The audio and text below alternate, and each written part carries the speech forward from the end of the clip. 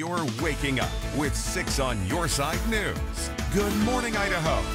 Welcome back. A massive musical tribute is planned for area veterans. The Boise Philharmonic, the Treasure Valley Concert Band, and the Opera Idaho Children's Chorus will join forces for a free concert Monday night at BSU. Six on your side, Steve Dent takes us to a rehearsal.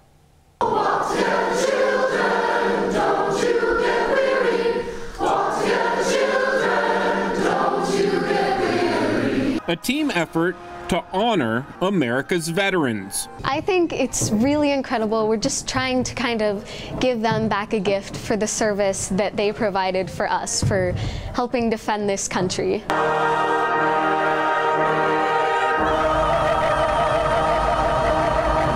The Boise Philharmonic, the Treasure Valley Concert Band, and the Opera Idaho Children's Chorus combine to show off musicians of all ages. Uh, I think it really makes it special because you've got different uh, elements of the uh, musical community coming together to show their appreciation, sort of a unity. But it takes a lot of work. Oh, countless hours.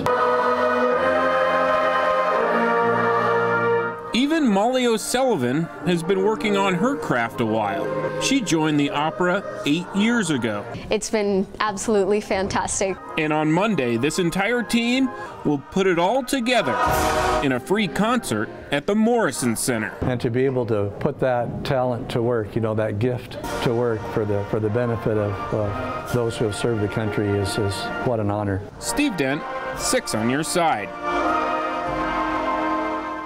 Should be a good show. The concert is presented by Boise State University. And the event will happen next Monday at 7.30 in the Morrison Center with parking available nearby.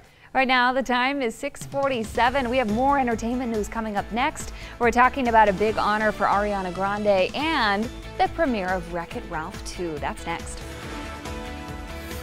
Plus, all is quiet across southwest Idaho this morning but all is also very cold. I'll break down my frosty on your side forecast coming up next. Now, Rachel Garceau with the On Your Side forecast. Welcome back at 649 on your Wednesday. All right, I'm going to leap ahead to Friday. I know Bronco Nation, big game coming up against Fresno State on the blue on Friday night. It is a blue out. You're going to want to unearth every warm blue thing that you own blankets, coats, gloves, hats, maybe even take the hand warmers with you. We have a cold time of it ahead on Friday. For you tailgaters, it'll be dark by 6 o'clock, 43 degrees with mostly clear skies. At kickoff time, 8:15 on Friday, chilly already dipping down into the upper 30s for the first quarter. By the time it's all wrapping up, hopefully with a big W for Boise State, right? Down to 35 degrees at about 11 o'clock on Friday night. So it is going to be cold and that will lead to a Saturday morning temperature in the 20s and that's about where we'll be every single morning starting tomorrow through the middle of next week. We have a hard freeze expected each and every morning. So you'll be scraping that windshield or possibly just letting your car warm up for a little bit longer if you park outside. We do have an area of low pressure, one little disturbance that is continuing to kind of sweep by to our north. That could send some more very light snow across portions of our central mountains today. Nothing real big as far as accumulation goes necessarily. We will stay nice and clear and dry here in southwest Idaho, but we do have cool air that's in play, so that will keep us uh, cold for this afternoon.